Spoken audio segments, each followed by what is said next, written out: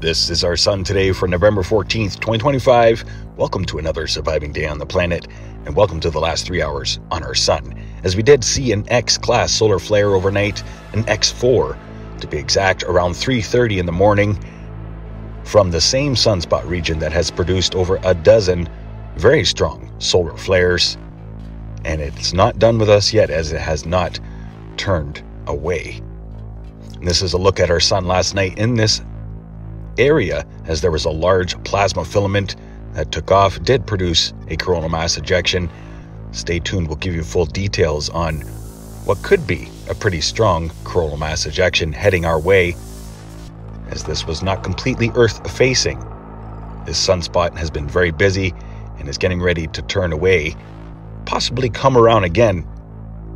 So stay tuned as we will give you daily updates on all current space weather conditions and as well the likely coronal mass ejections that could be coming our way. Amazing images here brought to you by GOES 19 satellite mixed here with daily events worldwide. Thank you so much for pressing play today and finding us. Solar winds are coming in at 563 kilometers per second, and there is that X class solar flare X4. And space weather spiral showing a minor geomagnetic instability for the 15th. So, tomorrow night, and here's a look at LASCO 3, the most recent activity coming from our sun from the X4 class solar flare. Much love. Stay safe and healthy. Wear prepared.